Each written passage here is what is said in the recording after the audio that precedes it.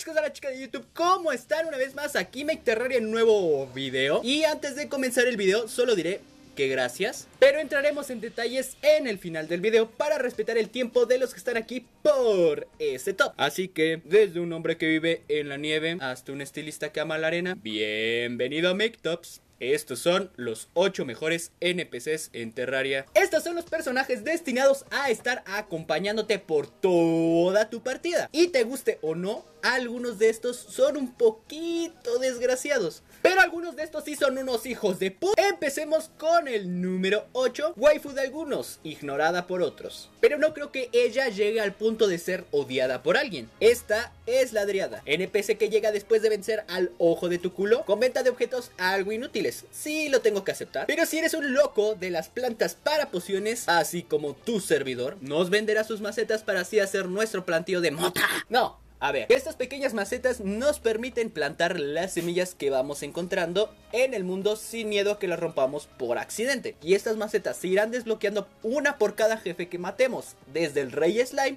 hasta la muralla de carne. Entonces si tú eres el alquimista de turno de tu grupo de compis, la Adriada será una de tus mejores compañías cuando se trata de cultivar tus semillas de mota. Ahora mis queridos amigos vamos a pasar con el número 7. Lo encuentras tirado en tu mundo, a veces en el subsuelo o hasta tirado en alguna parte superior de tu mundo. Este pequeño mastodonte es el tabernero. La verdad es que está muy infravalorado el tabernero a como lo pintan porque... ¡Oh, la la! Ese evento es una maravilla. El Cristal Eternia es un evento basado en el juego Dungeon Defenders 2, donde tienes que defender un cristal con torretas, avanzan enemigos y shalala. Es muy simple, pero de decir, porque para hacerlo tiene sus complicaciones, ya que este evento va subiendo su dificultad conforme vas matando jefes en tu mundo. Cuando matas al primer jefe mecánico llega la segunda dificultad de este evento, y al matar al golem llega la tercera dificultad. Pero mi amigo mío! Si tú eres de los que nunca hicieron este evento, estás condenado, ya que para comprar las torretas que son necesarias para el nivel 2, necesitas vencer mínimo unas 3 o 4 ocasiones este evento en nivel 1. Y para comprar las armas necesarias para el nivel 3, necesitas haber vencido más de 10 veces el nivel 2. Ahora, si tú eres uno de esos que nunca lo hizo y llegaste a Moonlord, ¡oh amigo!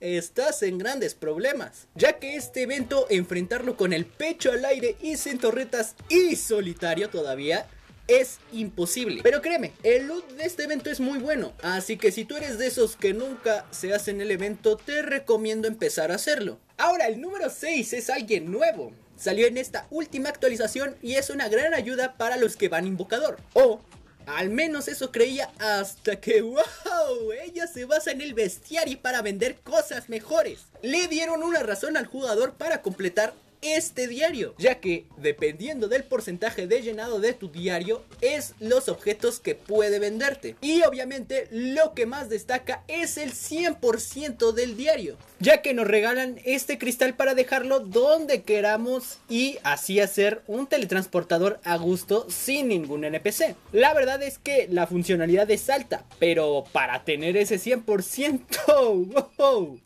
ya lo veo difícil. Y bueno, al compararlo con una Pokédex queda corto, ya que ahí es un poco menos desgraciado. Ahora aquí necesitaremos matar al animal. ¿Qué situaciones podría generar esto? Qué día tan fresco, ¿no? Sí, la verdad es que es muy agradable. Ah, tú no eres nocturno. Huevos, tú a lo tuyo. O bueno, eh, sí, es muy agradable. ¿Qué, ¿Qué es eso que se escucha a lo lejos? Mira, ¿quién es ese? Preguntémosle. Oye, idiota, ¿quién eres? Puto, el que me mire. Creo que es retrasado. Ya ve a ver si puso la marrana. Aunque la escena anterior sería excelente, nah, no tienes que matar a los animales pacíficos para que se llene tu diario. Con solo verlos basta. Ningún animal fue herido en esa animación. Ahora, después de pasar con los animales, vamos con el número 5. Ella digamos que tiene su punto bueno y otro malo. Bueno, y esta desgraciada es la enfermera. En versiones anteriores no pasaba de que ella te cobrara unos cuantos pesitos para curarte. Pero en esta última versión es una desgraciada. Ya que con el nuevo sistema de felicidad, adivinen qué desgraciada no está feliz si no está en el Halo. Sí, sí, tal vez pueda seguir usándola fuera de este bioma. Pero, oh, amigo, te va a costar tu líquido de las rodillas el curarte cada vez que peleas contra jefes. También ya no funciona el tenerla para la pelea de Moonlord, ya que el rayo de su ojo atraviesa bloques. Acaban de dejar más inútil a un NPC que su única gracia era curarte. Ahora preguntarán, entonces, ¿Por qué está en este top? Es que la utilidad que se le da en modo maestro y más si estás en multijugador es el NPC que más vas a usar, eso te lo aseguro.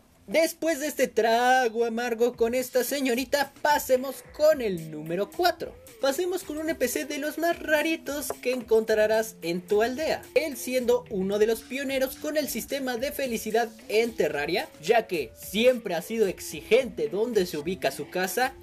Este es la trufa. Si eres de la clase de distancia, recordarás este buen hombre, ya que te hace minar y minar y minar champiñones azules como desgraciado. Este ya no es mucho problema para los que tenemos la 1.4 y puedes llegar a conseguir unos 150 o hasta 200 champiñones de una sola ida. Pero juegas una versión anterior a esta, con los biomas de la actualización pasada solo consigues alrededor de 30 a 40 como máximo en una ida. Y ahora tú me dirás, bueno, ¿y para qué son tan necesarios estos champiñones? Esta pequeña trufa vende un objeto que se llama el automartillo. Este automartillo te deja hacer los lingotes de piñonita. Y estos lingotes de piñonita son para hacer la mejor armadura de clase de distancia. Y cada lingote se hace con 15 de estos champiñones. Ya viste por dónde va el tiro, ¿no? Necesitas alrededor de 810 champiñones para hacerte la armadura. Aquí son más de 23 vueltas de ir y recoger champiñones. ¡Y no, hombre! ¡Qué hueva la neta! Así que ahorrar todos estos champiñones desde el inicio del juego para no tener complicaciones al final. O hasta crear un bioma artificial de este. Pero esto lo dejaremos para un próximo video. Ahora pasemos con el número 3. Este igual es muy útil para los que son a distancia. Creo que también ya quedó claro cuál es mi clase en Terraria. Así que este es el traficante de armas. No tiene mucha gracia, vende el mini shark, balas y piezas de armas ilegales. ¡Oh, amigo! Si creíste que habías gastado mucho dinero con la enfermera es porque no tenías ni idea de cuánto te hace gastar este pequeño hijo de puta. Ya que si no está en el desierto, este hombre te hace gastar mucho, mucho oro por unas simples balitas que, ojo, normalmente se compran alrededor de mil a dos mil balas de un solo golpe. Y amigo, créeme que esa deuda ni juntando a Coppel y Electra cumples en esta vida. También unas cosas de las que te puede gustar es la escopeta que la vende después de matar al muro de carne. Y digo, esta escopeta no está tan mal, ya que explota a los enemigos a lo desgraciado y visualmente cómo se ve eso. Ahora enfrentar jefes con la escopeta mejorada, de verdad que es una cosa simplemente gloriosa. Ahora entramos en penúltimo lugar y este es el número 2. Sin importar tu clase, estilo de juego o hasta dificultad, créeme que este hombre te sacará todo el oro de tu partida. El NPC más avaro de Terraria con precios infladísimos. Estamos hablando, ojo, del duende de chapuzas. ¡Oh! Más de uno ya aventó seguramente el celular. Este chiste no tiene gracia si me ves desde otra plataforma. Este gran señor dará mejoras a nuestras armas y accesorios. Por un lado, bien, ya no tendremos que hacer de nuevo el arma o el accesorio para que nos salga algo mejor. Ojalá fuera así, mi querido amigo. No sé si soy yo, pero justo cuando busco una mejora en específico a mis accesorios, el desgraciado lo sabe. Así que adiós esas monedas de platino de tu mundo que has conseguido durante toda tu partida. Y solo queda reciclar, reciclar, reciclar y reciclar para que al fin te quede en feo esa Terra Blade tan preciada. Y cuando por fin consigas la mejora en legendario, mándalo a volar por los aires a la verga. También una de sus funciones es la venta de taller de chapuzas, que para la creación de accesorios es 10 de 10. Ya en esta recta final solo nos queda, amigo mío, el número uno. A esta altura ya muchos sabrán quién es. El NPC que mejor te trata. No te pide ni uno de cobre. Ayuda a la gente, vuela, huela limón, acaricia perritos. Podría decirse que el más útil de todo Terraria. Así que mi querido amigo, sí te estoy hablando del golfista. ¿Qué esperabas? ¿A alguien más? Nah, no es cierto, es el buen guía.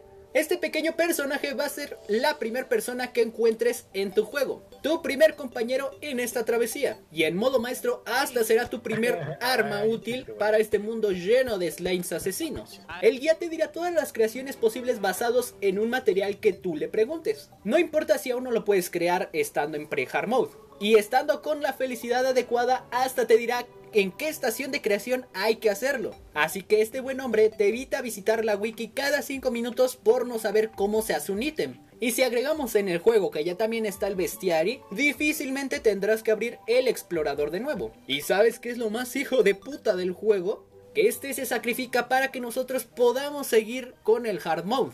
La verdad es que es un NPC menospreciado totalmente y verdad de Dios que necesito una F por todos esos días muertos para nuestras partidas. Así que chicos, esto ha sido un pequeño recorrido por todos los mejores NPCs en Terraria. Obviamente hay muchos más, así que te recomiendo seguir investigando de estos para que no te pierdas ninguna utilidad de ellos. Y ahora sí, bueno, saliendo de este medio personaje, quería hablar con esas 7000 a 8000 personas que han llegado hace relativamente poco a este canal.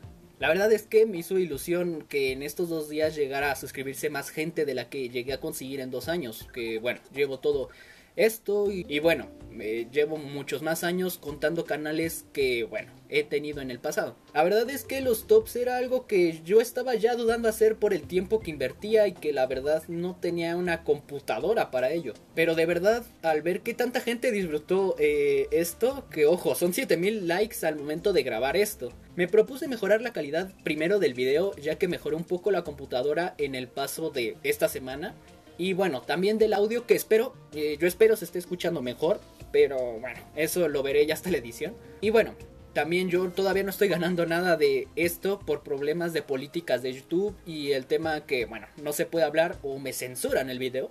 Así que todo este desmadre sigue siendo sin fines de lucro hasta que, bueno, se arregle este pequeño problema de políticas de YouTube y bueno, las cuentas AdSense es un desmadre todavía. Pero por ahora, a ver qué tanta gente disfruta con mi humor y las tonterías que hablo.